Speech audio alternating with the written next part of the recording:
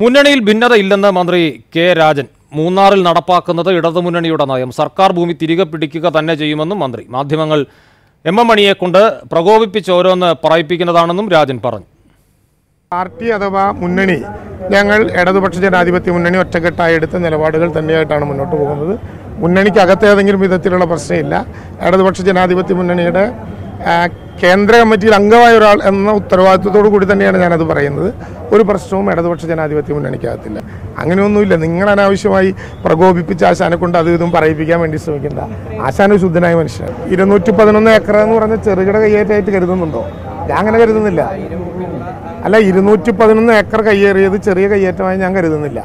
കയ്യേറ്റങ്ങൾ ഒഴിപ്പിക്കാൻ ശ്രമിക്കുമ്പോൾ സാധാരണയായിട്ടുള്ള കോടതി വിധികൾ ധാരാളമായിട്ട് വരും. ഇപ്പോൾ കോടതി വിധികൾ തടസ്സമാകാത്ത എല്ലാ കേസുകളിലും ഭൂമി ഏറ്റെടുക്കും.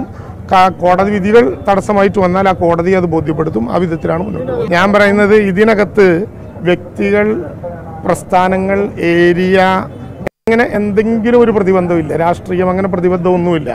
നിങ്ങൾ എന്നെ കൊണ്ട് എന്താണ് പറയിപ്പിക്കാൻ ഉദ്ദേശിച്ചെങ്കിലും അത് പറയുന്നൊരു നാവല്ല എന്റെ കയ്യിലുള്ളത്. കേരള സർക്കാരിന്റെ നാവാണ്.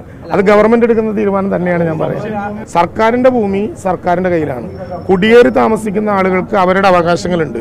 അത് അവർക്ക് കൊടുക്കും.